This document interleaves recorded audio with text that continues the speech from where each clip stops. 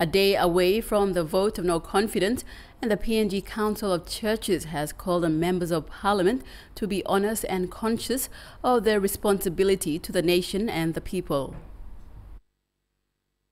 As the nation awaits the vote of no confidence tomorrow, the PNG Churches Council, who has been following the events, including the termination of the UPNG academic year, today call for members of parliament to be honest and to consider people first before they vote. Six church reps, including Archbishop John Ribat, put out a statement urging leaders to focus on the common good and to seek God's guidance in their decision.